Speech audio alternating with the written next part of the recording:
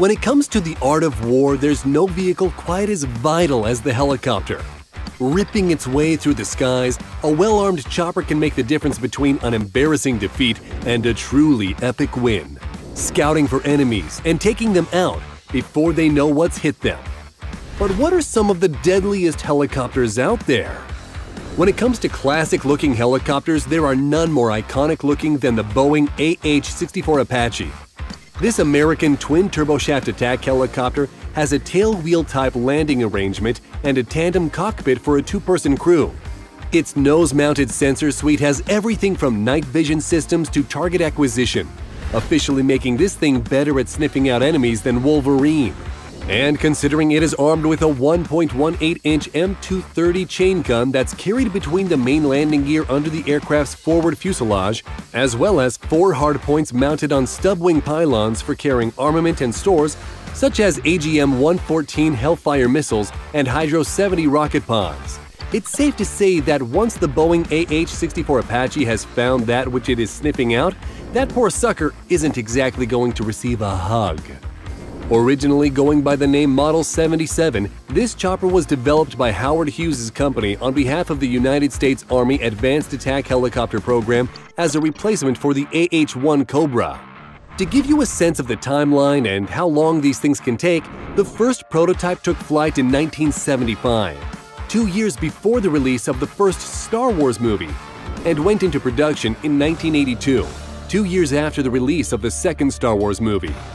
The Boeing AH-64 Apache was introduced into the U.S. Army service in 1986, three years after the release of the third Star Wars movie, with an advanced and refined model being delivered to the Army in March of 1997, two years before the release of the fourth Star Wars movie. Production of the units has continued to this day with over 2,000 having been made as of 2013, two years before the release of the seventh Star Wars movie. While the United States is the primary user of the AH-64, this attack helicopter gets around more than Hugh Hefner did and is actually used by multiple other nations, including Singapore, the Netherlands, Israel, Greece, and Japan. They have served in multiple conflicts in Kosovo, Afghanistan, Iraq, Panama, and the Persian Gulf. The AH-64 Apache is the proud owner of a four-blade main rotor and a four-blade tail rotor, the crew sits in tandem while its pilot sits both behind and above the co-pilot gunner, with both of them being capable of flying the aircraft and performing weapon engagements independently of each other. The whole thing is powered by two separate General Electric T700 turboshaft engines that have, on either side of the fuselage, high-mounted exhausts. One of the most revolutionary features of the AH-64 is its helmet-mounted display, the integrated helmet and display sighting systems comes with many capabilities, including the ability for either the gunner or pilot to solve the helicopter's automatic chain gun to their helmet, meaning the gun will track head movements to the exact point where they are looking. That kind of precision would have made annihilating the Death Star a walk in the park. But it's not just the United States that is capable of releasing a lethal flying machine into the skies. France's own Eurocopter Tiger also known as an Airbus helicopter Tiger, can give the AH-64 a serious run for its money. Development on this four-blade twin-engine chopper started way back during the Cold War, and it was initially intended as an anti-tank helicopter platform that would be used against a possible Soviet ground invasion of Europe. Development was prolonged and, during this time, the Soviet Union collapsed, rendering further development arguably more lacking in point than a ball. In spite of this, France chose to press on. Finally, come 2008, it achieved operational readiness. What makes this fella unique is that it has the proud distinction of being the very first all-composite helicopter ever produced in Europe. Right from the earliest model advanced features such as stealth technology, high agility to increase survival, and a glass cockpit were incorporated, in the time since the helicopter's original unveiling, many improved variations have followed suit. Outfitted with far more powerful engines and compatible with a significantly wider range of weaponry. To date, Tigers, the helicopter not the cat, have served in Libya, Mali, and Afghanistan. The story of the Tiger begins back in the most Orwellian of years 1984, when the French and West German governments issued a desire for an advanced multi-role battlefield helicopter But while a supplier was chosen, the development program was effectively cancelled a mere two years later due to the ever-increasing costs. But just one year later, the program was formally relaunched because it seems these guys just could not make up their minds as to what they wanted to do.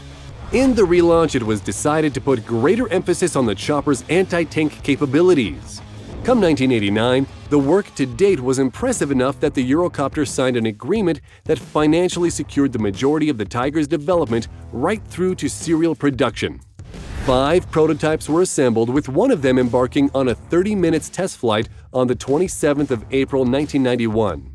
Things were looking up for the Tiger program, but that would all change.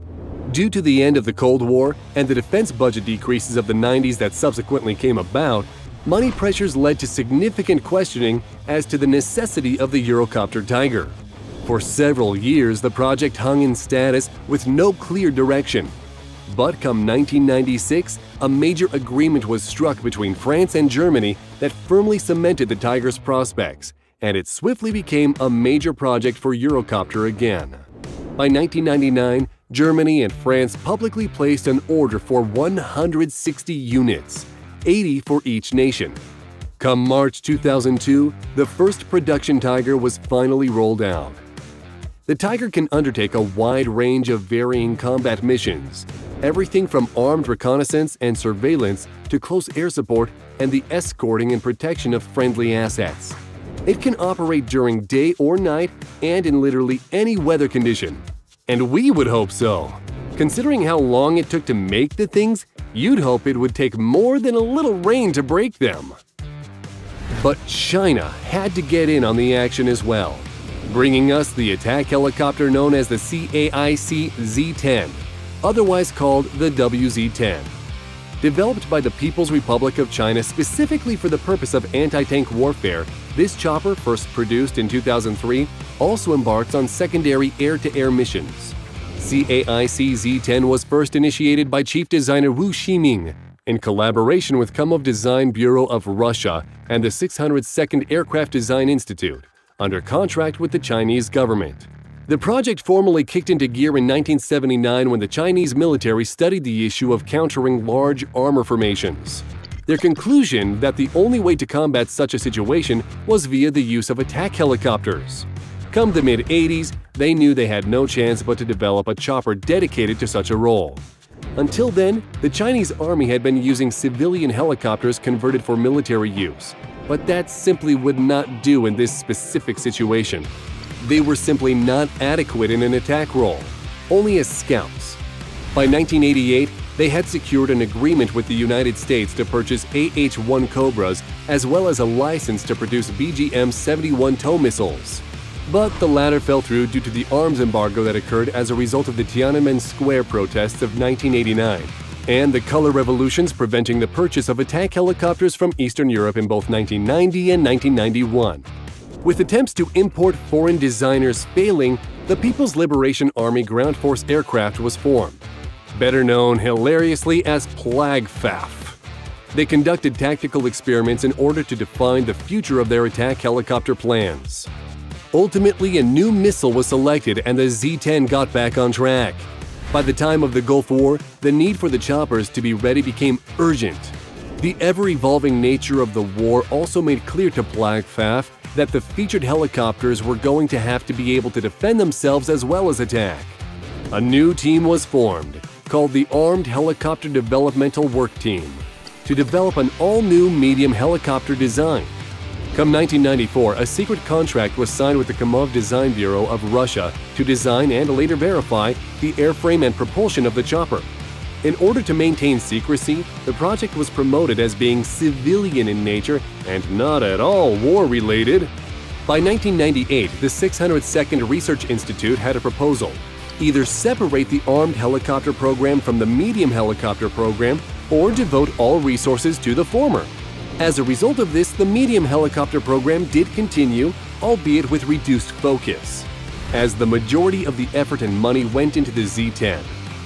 The electronic warfare system of the Z-10 is the first Chinese electronics wear system to successfully integrate radar, radar warning receivers, laser warning receivers, electronic countermeasures, and electronic support measures. Though we don't know for sure, it has been said that the Z-10's radar system has a remarkably high interception rate of hostile signals and, when in the fully automatic mode, can analyze threats automatically, launching different decoys and jamming signals with ease. Truly innovative. But no talk of innovative, yet also lethal helicopter design is complete without taking a look at Russia's contributions to the field. The MIL Mi-24 Oh, seriously, these names are so dull. Why don't helicopters have names like Dr. Brian Flabberflump?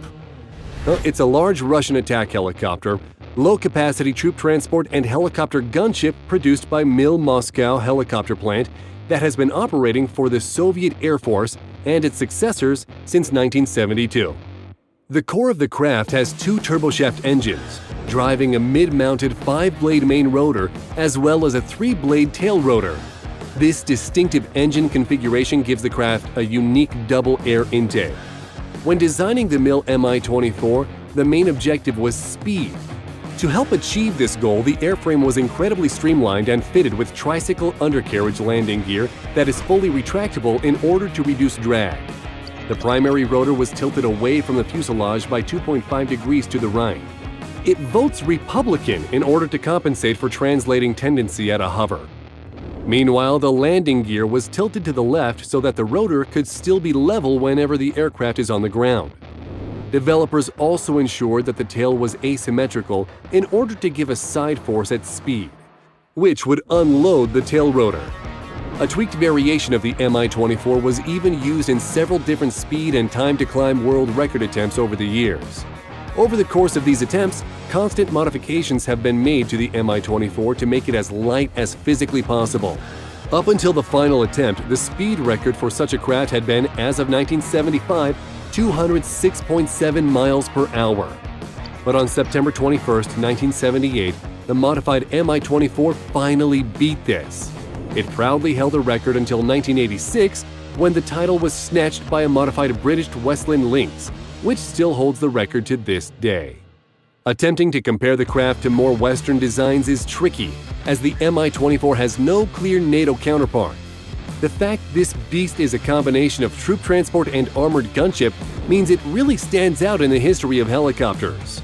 In its long tenure, the Mi-24 has served in a multitude of ways, including the Ogaden War, the Chadian-Libyan conflict, the Soviet War in Afghanistan, the Iran-Iraq War, the Nicaraguan Civil War, the Sri Lankan Civil War, the Clone Wars, the Gulf War, and the war in Abkhazia. Full disclosure, we may have added a fake one on for a joke. We'll let you decide which is which.